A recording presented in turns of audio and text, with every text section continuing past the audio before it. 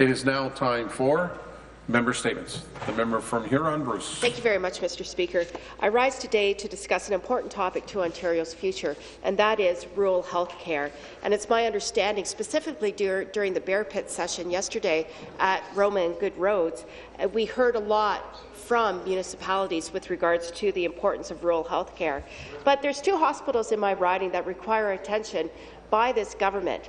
The South Bruce Grey Health Centre, specifically their Chesley Restorative Care Unit, as well as the Kincardine Hospital.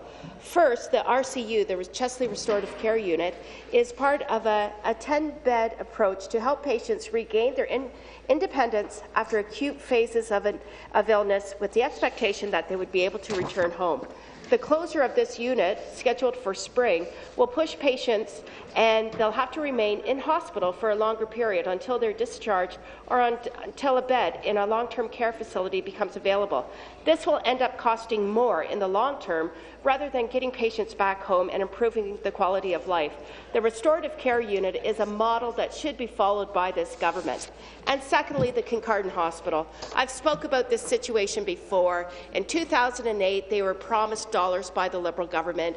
August 2011, this community had a carrot dangled in front of them with the promise of a new hospital build, and now today, in 2015, nothing has come to fruition.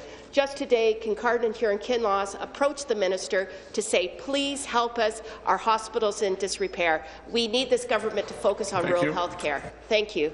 Thank you. Member statements. The member from Windsor West. Merci, Monsieur le Président. Uh, Dana Bell, Thank you, Mr. Speaker. very best my riding of Windsor West has to offer when it comes to building partnerships in our community. She's the owner and founder of Art and Deed, an organization that provides a wide range of holistic-based art programs at her studio and community organizations across town, including the Alzheimer's Society of Windsor and Essex County. Alzheimer's, as many in this chamber know, is the most common form of dementia and is both devastating and incurable. Speaker, I'm proud of the work Art and Deed is doing with the Alzheimer's Society of Windsor and Essex County. I recently toured the society and was impressed by the quality of services that are offered, like education and counselling, for people suffering from Alzheimer's and related dementias, along with their families. Last year alone, the Society offered over 3,000 counselling sessions, 110 support group meetings, and distributed over 7,000 information packages, all while self-funding 35 per cent of their annual budget. With the number of people suffering from dementia expected to double in a generation, I'm thankful for the creative partnering of Art and Deed and the Alzheimer's Society. I think all members in this chamber will agree that we should help foster these relationships as we search for ways to fight and live with Alzheimer's and related dementias. Thank you. Member statements. The member from Halton. Thank you, Mr. Speaker. I'm pleased to rise today in the legislature and acknowledge some very special Ontario talent that gained international recognition on the world's biggest stage over the weekend. Like many people throughout the province, the country, and across the globe, I tuned in to watch the Oscars on Sunday. And while some may have been watching the stunning dresses, outstanding music, and really inspiring performances, it was really the awards that were being handed out that drew most people's attention. I'm pleased to say that our province was very well represented in the winner's circle. You see, director Chris Williams, who was raised in Kitchener and later attended the animation program at Sheridan College in Oakville, took home the Oscar for Best Animated Feature for Big Hero 6. Not to be outdone, Craig Mann, born in Oakville, won a Best Sound Mixing Oscar for his work on the film Whiplash. Speaker, it's clear that these Oscar victories were both very well deserved. To have local talent succeed at the highest levels is inspiring and something we should all celebrate. I want you to know that this is a reminder of what can be achieved with hard work, passion and determination. Their outstanding success reminds us all that we, we must continue to support local talent and ensure that we are doing all that we can to help Ontarians realize their full potential. I'd like to congratulate both of these local artists and wish them the best of luck in their future endeavours. Thank you very much, Mr. Speaker. Thank you. Member statements. The member from Kitchener-Conestoga. Yes, well, thank you, Speaker. I want to thank the Canadian National Institute for the Blind for coming to Queen's Park today and thank them for all they do to support blind or partially sighted Canadians and helping them build the confidence and skills to go about their daily lives. I've always been a strong advocate for the work CNIB does, whether that be providing audiobooks or hard copy books written in Braille, giving peer support for those that feel depressed or angry with their vision loss, or teaching CNIB clients tips on how to complete tasks many of us take for advantage uh, in our daily lives. I personally struggle with keratoconus, a degenerative disorder of the eye where the cornea thins and changes shape to a more cone-like structure, uh, causing substantial distor distortion, of uh, my vision. Luckily, I have a way to deal with my eye condition using special contact lenses, but I understand the struggle many Ontarians face and how critical post-vision loss rehabilitation therapy is to our healthcare system. As a member of this legislature, I look forward to working with CNIB as they move forward on their path to change to ensure our vision care in Ontario's healthcare system supports our aging population and those who need special vision care. I welcome all MPPs and their staff to the reception this evening in the dining room from 6 to 8 p.m. and speak with those from CNIB so you can learn more about the important support they provide across Ontario and throughout Canada. Thank you, Mr. Speaker. Thank you. Member statements, the member from Niagara Falls. Mr. Speaker, thank you for allowing me to speak today. I'd like to use my time to highlight something I see happening across my riding and across the province. We're seeing people really starting to support their local communities by buying local. They're turning to local farmers markets, local wineries, and local workers to highlight a few examples. They're even going on staycations, where they stay at home and see their local sites and entertainment, giving back to their community and the tourist sector. I've been calling on communities to buy local for years. I'm very happy to see so many people are supporting that initiative. In my riding, I'd like to commend Dan Patterson, president of Niagara College, for opening up the pre-qualifying bid process so bids for local contractors. This kind of thing creates an opportunity for skilled tradespeople who live and work in Niagara by expanding the list of pre-qualifying bidders they are able to include, include two local companies. By making room for locals and supporting our local electricians, construction workers and builders, we're making sure good, decent jobs get back into our community that will come, come from this. I like to see this trend continue, especially with our new hospital in Niagara Falls. Mr. Speaker, I like to see this province buy local and support our local wineries and our local arts and culture across the province. By taking into account areas where there's high unemployment and by focusing on buy local strategies, we can, we can put good, hard-working Ontarians back to work. Thank you very much. Member statements, the member from Newmarket Aurora. Well, thank you, Mr. Speaker. I'm pleased to stand in the House today to celebrate a remarkable person from my riding of Newmarket Aurora. On February the 15th, I had the opportunity to present a longtime Northern York Region resident, Della Taylor, with a certificate to honour her 100th birthday. Wow. Della was born on February the 9th, 1915, on a farm near the beautiful hamlet of Lloydtown, not too far from my riding and in the township of King. This was a significant year, not only for Della and her parents, but also for the shaping of Canada's future for it was the early days of the Great War which forged our nation's early identity. Della's strong constitution was built on the family farm, where she learned not only how to run a household, but also how to run a farm. It was on this farm that she met her future husband, William. With the 1930s came the Great Depression, yet Della and William did not let that stop them from marrying in 1934.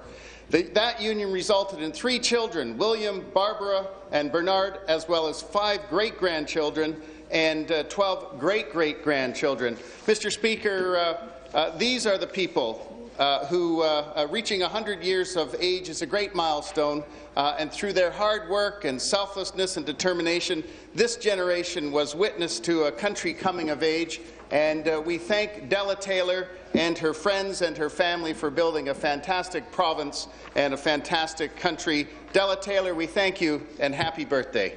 Thank you. Member the member from Prince Edward Hastings. Uh, thank you, Mr. Speaker. And uh, the member opposite was earlier referencing uh, Sunday night's Oscar Awards, and quite a show it was as the red carpet was rolled out, out in uh, Los Angeles, and they handed out the Oscars in California. Well, There's a big event this weekend in Belleville. They'll be rolling out the green carpet for the fourth annual 2015 Belleville Downtown Doc Fest. And who knows, we may have some future Oscar winners as a result of having their films on display this weekend in downtown Belleville. And by the way, Lady Gaga was great on Sunday night doing the Sound of Music medley. Loved it, loved it. Uh, but I digress. The International uh, Documentary Film Festival kicks off with the uh, screening of Keep On, Keeping On on Friday night at the Empire Theatre. And the film tells the story of an unlikely mentorship between jazz legend Clark Terry and Justin Kauflin, who's a young piano prodigy. And Kauflin is actually going to be on stage at the Empire as well as the film is uh, being played. And then he's going to Centennial Secondary School, and he's going to be meeting with 150 music students from nine local high schools in the region and talking about the film and just talking to them about music. So the film festival, while it's a great opportunity to show 50 different documentaries over the three-day festival. It's also an opportunity to engage young people, and I think that's what uh, this is all about at a number of different uh, locations throughout Belleville's core.